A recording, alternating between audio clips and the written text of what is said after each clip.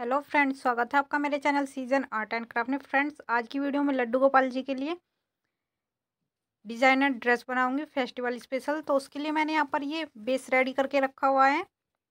देखिए, इसका डायमीटर सात इंच है। तो मैंने यहाँ पर ये छोटे साइज़ का इसलिए बनाया है क्योंकि जो इसके ऊपर मैं पैटर्न लगाऊँगी, वो थोड़ा बाहर निकाल कर लगाऊँगी तो उससे थोड़ा बड़ा बनेगा।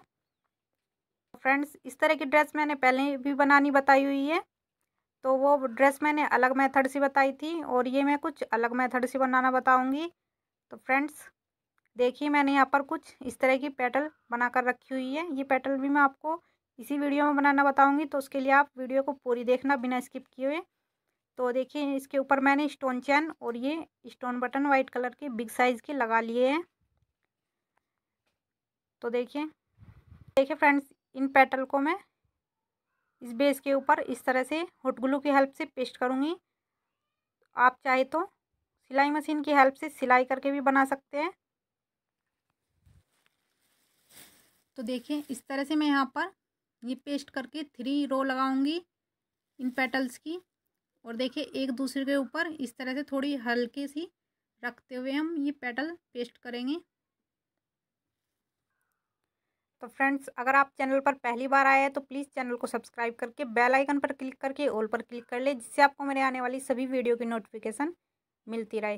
और फ्रेंड्स, वीडियो को लाइक और शेयर भी किया करें। तो देखिए, इस तरह से मैं यहाँ पर ये पेस्ट कर लेती हूँ। तो उसके बाद मैं आपको बताऊँगी कि आगे क्या करना है।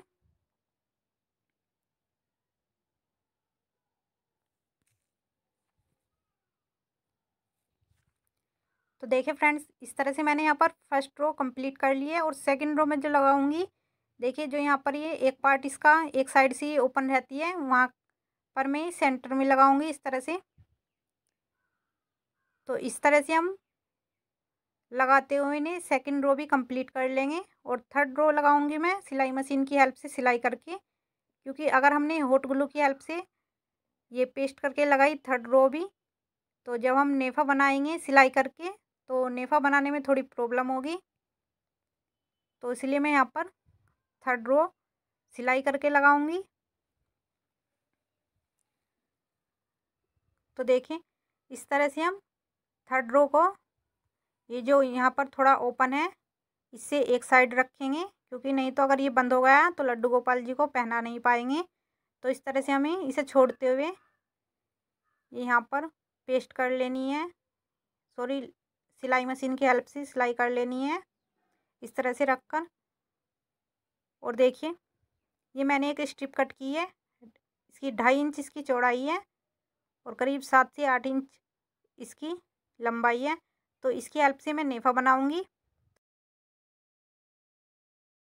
और फाइनल लुक में इसका आपको बाद में दिखाऊँगी। तो देखिए फ्रेंड्स ये मैंने बेस तो रेडी कर लिया है, अब मैं आपको जो मैंने उसके ऊपर पेटल लगाई है, वो बनाना बताऊँगी। तो देखिए, ये इस तरह की मैंने यहाँ पर मलाई डोरी ली है पिंक कलर की। तो आप तो मैं यहाँ पर पिंक कलर की ड्रेस बना रही हूँ तो मैंने यहाँ पर पिंक कलर की मलाई डोरी ली है। तो पेटल बनाने में हम इसका यूज़ करेंगे और ये मैंने यहाँ पर एक स्क्वायर पीस लिया है नेट का।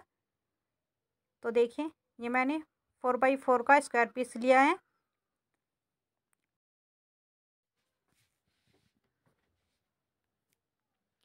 आप चाहे तो फोर बाई फोर का या फिर साढ़े तीन इंच का भी स्क्वायर पीस ले सकते हैं।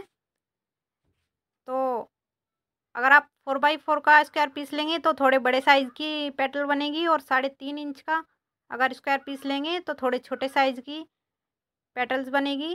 तो आप साढ़े तीन इंच से छोटा ना ले और फोर इंच से बड़ा ना ले। तो देखिए ये मैंने यहाँ पर एक मलाई डोरी का पीस कट कर लिया है। ये हमें इस साइज़ का कट करना है, जो इस तरह से हम स्क्वायर पीस को ये फोल्ड करें और इसके सेंटर में ये आ जाए।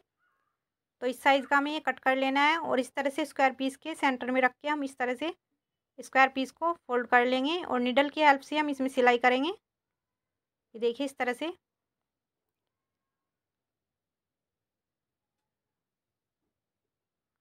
तो देखिए इस तरह से हमें सिलाई करते हुए जो इस स्क्वायर पीस का लास्ट वाला कॉर्नर है, वहाँ तक ले जाना है।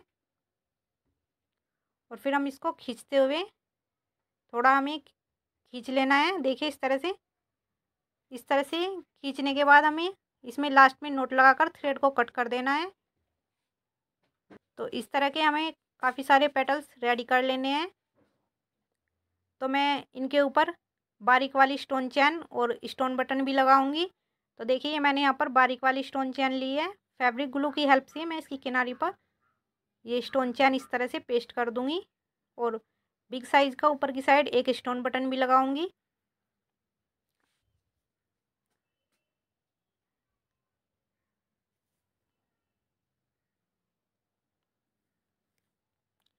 तो देखिए फ्रेंड्स, मैंने आपको पेटल्स भी बनाना बता दिए हैं और हमारा बेस भी रेडी हो गया है। अब मैं यहाँ पर इसके मैचिंग की पगड़ी बनाऊँगी। तो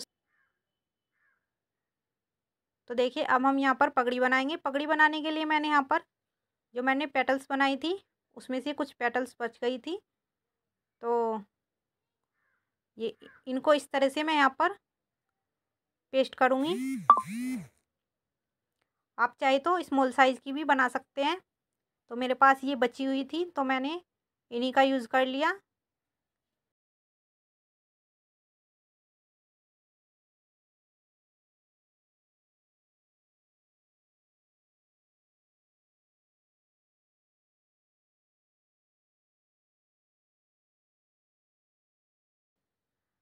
देखिए, इस तरह से पेस्ट करने के बाद ऊपर की साइड मैंने स्टोन चैन लगाई है और कुछ स्टोन बटन लगाए हैं। तो देखिए, इस तरह से हम एक डिज़ाइन रेडी कर लेंगे। और ये मैंने यहाँ पर करीब डेढ़ इंच की एक स्ट्रिप ली है। तो देखिए, इसको हम इस तरह से ये राउंड राउंड घुमाएँगे। तो ये इस तरह से घुमाने से एक डोरी बन जाएगी।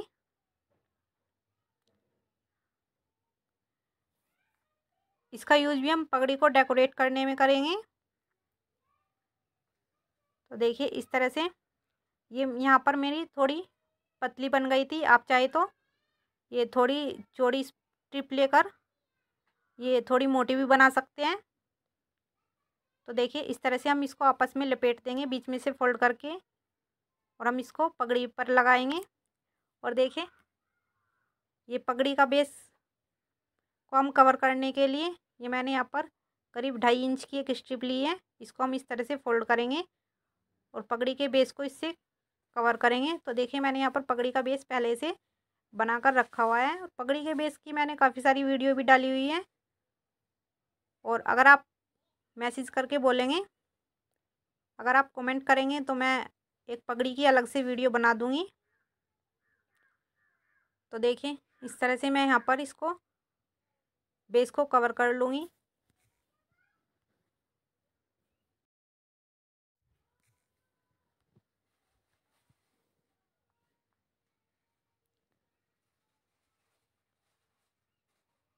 और कवर करने के बाद मैं इसके ऊपर कवर करने के बाद मैं इसको डेकोरेट करूँगी। तो आप वो देख लेना कि किस तरह से डेकोरेट करूँगी मैं।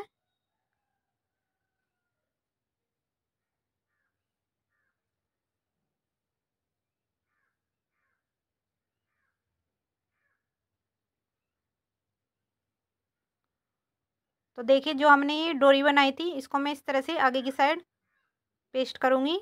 तो देखिए, मेरी थोड़ी यहाँ पर बारीक बन गई थी। तो इस तरह की ये डोरी में आप स्टोन चैन भी लगाकर इसे थोड़ा डेकोरेट कर सकते हैं। तो ये बारीक बन गई तो इस तरह से। तो इसलिए मैं इसे डेकोरेट नहीं कर पाई। तो अगर आप थोड़ी मोटे साइज़ की बनाएँगे तो आप उसमें स्टोन चैन की हेल्प से उसे डेकोरेट कर सकते हैं।